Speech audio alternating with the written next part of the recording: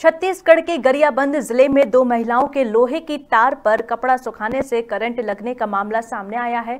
दरअसल ये मामला वार्ड क्रमांक दो आज़ाद चौक का है, जहाँ दो महिलाएँ देवकी बाई डोंगरे और सुमन बाई डोंगरे विद्युत तार पर कपड़े सुखा रही थी।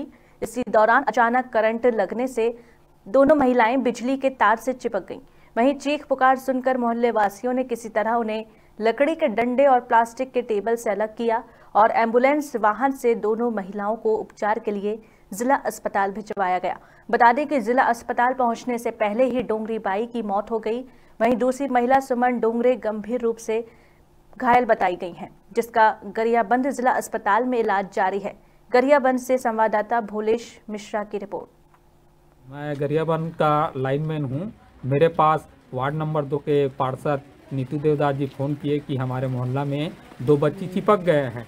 तो मैं वहीं पे उपस्थित था सब स्टेशन में तुरंत ऑपरेटर को बोल करके उस फीडर को तुरंत बंद करवाया। बच्ची जो है छत पे कपड़ा सुखाने जा रही थी तो उससे कांटेक्ट होके करंट लगा है। क्या होगा क्या सर? अभी की स्थितियाँ अभी की स्थिति एक जो है जो बच्ची वो ब्रॉड डेड थी यहाँ और एक जो जिनको लगा है उसको मेडिकेट कर रहे हैं। अब पीएम के लिए जो भी प्रोसीजर है वो स्टार्ट कर रहे हैं।